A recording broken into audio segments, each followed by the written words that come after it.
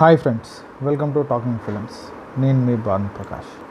ఈరోజు మనం మాట్లాడుకోబోయే సినిమా ఈ ఫ్రైడే రోజు రిలీజ్ అయిన పక్కా కమర్షియల్ ఒక court room action comedy cinema అని చెప్తా ఉన్నారు. ఈ సినిమా ఎలా ఉందో మనం కొద్దిగా మాట్లాడుకుందాం. కానీ దాని గురించి మనం మాట్లాడుకోబోయే ముందు ఈ ఛానల్ చూస్తున్న వాళ్ళు ఇంకా ఎవరైనా సబ్స్క్రైబ్ చేయని వాళ్ళు ఉన్నారంటే దయచేసి కింద ఉన్న సబ్స్క్రైబ్ బటన్ క్లిక్ చేయండి. అలాగే పక్కన ఉన్న బెల్ ఐకాన్ కూడా క్లిక్ చేశారంటే మా వీడియోస్ మీకు ఆన్ టైంలో వచ్చి చేరుతాయి.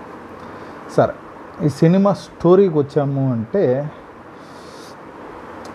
మన సత్యరాజ్ హీరో వాళ్ళ ఫాదర్. అతను జడ్జిగా ఉన్నప్పుడు ఒక తప్పుడి ఇది ఇచ్చాడు అని జడ్జిమెంట్ ఇచ్చాడు అని చెప్పి ఆయన రిజైన్ చేసేస్తాడు.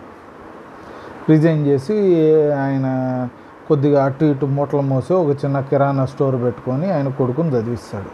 కొడుకు పెద్ద అయ్యి మన గోపిచంద్ ఆయన లాయర్ అవుతాడు. లాయర్ అయ్యింది ఇంట్లో వాళ్ళ నాన్న ముందు మట్టుకు డబ్బు తీసుకోకుండా నీతివంతమైన లాయర్గా ఇది చేస్తూ బయట బాగా కమర్షియల్గా అంత డబ్బు తీసుకునేసి ఆయన ఇది చేస్తూ ఉంటాడు అనమాట లాన్. అట్లాంటప్పుడు ఓ పర్టికులర్ కేసు వచ్చినప్పుడు వీడు ఆ కమర్షియల్ ఇది ఎవరైతే నీతివంతులుగా ఉండి డబ్బు లేని వాళ్ళు ఉన్నారో వాళ్ళకి హెల్ప్ చేయట్లేదు అని తెలుసుకున్న నాన్న ఇంటర్వల్ పాయింట్. అక్కడి నుంచి ఆయన కొడుకుని ఎలా ఎదిరిచ్చాడు ఎవరు గెలిచారు మన హీరో నిజంగా అంత కమర్షియల్లా కాదా అని చెప్పేది సినిమా. ఈ cinema court room action comedy అన్నాడు. కోర్ట్ ఉంటుంది కోర్ట్ రూమ్ ఉంటుంది కానీ కోర్ట్ రూమ్ డ్రామా ఇది ఈ లెక్క ఉండదు. యాక్షన్ ఏదో అక్కడక్కడ ఉంటుంది అది ఏదో అట్టట్టు ఉంది. కామెడీ ఇంకా చెప్పాల్సింది సరే సరే. ఇంకా ఏ రేంజ్ ఉంటుందంటే ఇంకా హీరో. హీరో ఇంకా దానికి మించి ఏం చేయగలుగుతాడో పర్లేదు. గోపీచంద్ కొద్దిగా చూసేదానికి బాగానే ఉంది. ఆయన రెగ్యులర్గానే చేస్తాడు. మనకి వాచబుల్ అనిపిస్తుంది. హీరోయిన్ వచ్చి యాజ్ యూజువల్ మైండ్లెస్ ఎందుకు ఆ క్యారెక్టర్ ఉందో తెలియదు ఆమె సీరియల్ ఆర్టిస్ట్. అది కూడా ఏంది? లాయర్ ఏదో క్యారెక్టర్. ఆమె దాంట్లో ఆ క్యారెక్టర్ చేసేకి లా చదివేసిందంట. సినిమాలో అంతా నోటుకొచ్చిన సెక్షన్లన్నీ చెప్తూ ఉంటుంది ఆమె. ఆమె ఫ్లోలో వెళ్ళిపోతూ ఉంటుంది. ఆ సెక్షన్లు మన సత్యరాజ్ ఏంది జడ్జిగా చేసిన తనకు కూడా తెలియదు అనమాట ఏ సెక్షన్ ఏందో ఈమె చెప్పేస్తూ ఉంటుంది. అది మనం నవ్వుతూ ఉండాలి. ఇంకోటి మేజర్ జోక్ ఏంద్రా అంటే ఆమె లాయర్ క్యారెక్టర్ చేసేదానికి లా చదివేసిందంట పని మంచి క్యారెక్టర్ చేసేకి ఓ పదిళ్ళు పాచి పని చేసి వన్ వండి ఇది చేసిందంట గొప్పించేందుకు డౌట్ వస్తుంది. అయ్యో ప్రాస్టిట్యూట్ క్యారెక్టర్ చేయలేదే అని. ఇటు ఉంటుంది కామెడీ. సరే ఇవన్నీ ఒకెత్తు సినిమాలో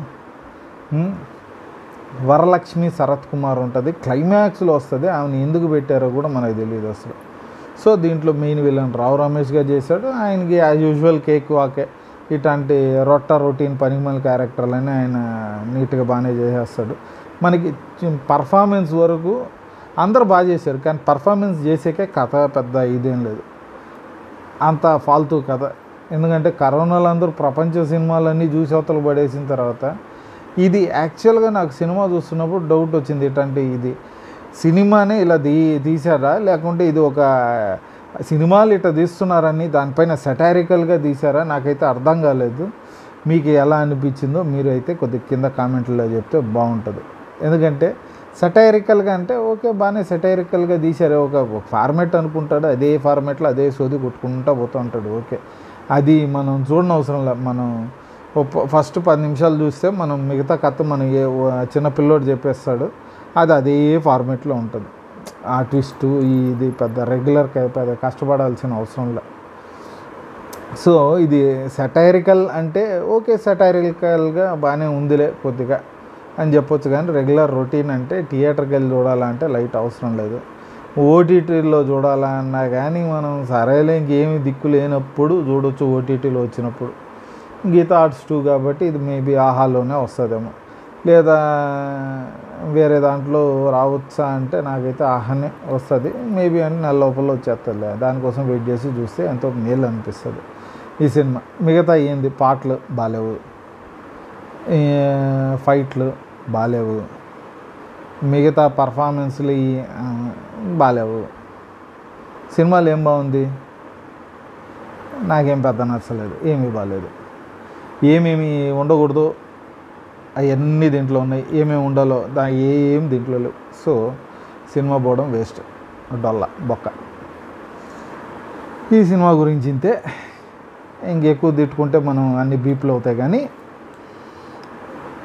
అందుకని సినిమా గురించి ఎంత తక్కువ మాట్లాడుకుంటే అంత మంచిది కాబట్టి ఈ సినిమా గురించి ఇంతే ఇంకో సినిమా గురించి ఇంకో వీడియోలో మాట్లాడుకున్నాం అప్పుడు దాకా ఈ వీడియో మీకు నచ్చిందంటే లైక్ చేయండి.